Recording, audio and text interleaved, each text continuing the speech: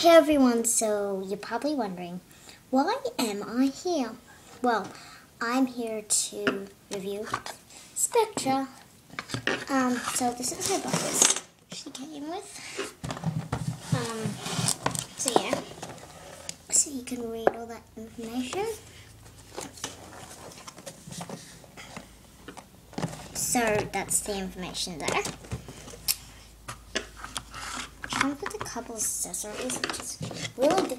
Which is, yeah, I sort of like that idea, but you know, she comes with her towel.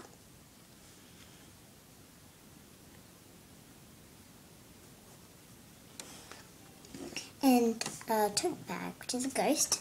And the cool thing about this is it can brush her hair. So, yeah, that's a good thing about that.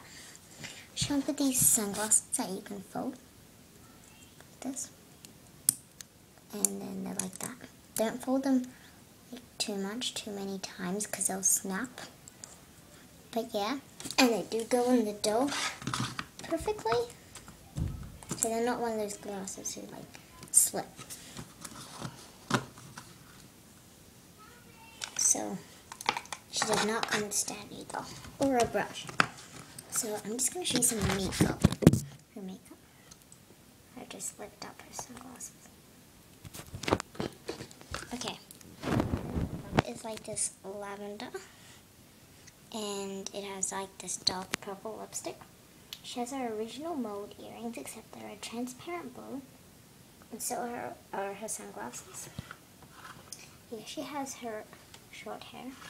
Well, my Spectra has long hair, but and it's two shades and it's made into this poofy ponytail. So yeah. Okay, so let's look at the outfit.